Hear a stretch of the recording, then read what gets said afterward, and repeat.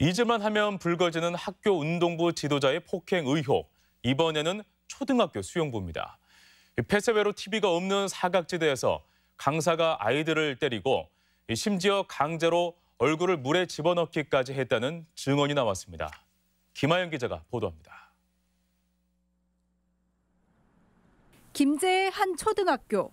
이 학교 수영부 강사인 A 씨가 학생들에게 폭언과 폭행을 했다는 의혹이 제기됐습니다.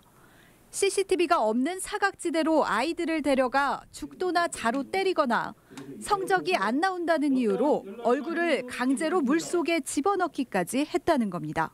그 아이를 머리를 잡고 물속에 이렇게 쳐박아서 눌러서 아이가 발버둥 치면 참아!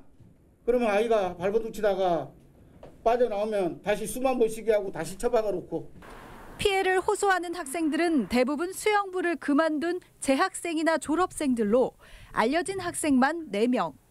학부모들은 대책위를 꾸려 교육청 차원의 진상조사와 재발 방지 대책을 촉구하는 한편 검찰에 고소장을 제출했습니다.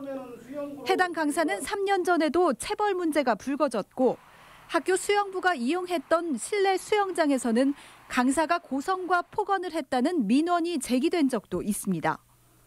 이에 대해 해당 교사는 제기된 의혹에 과장된 부분이 많고 그럴 수 있는 상황도 아니었다며 부인했습니다.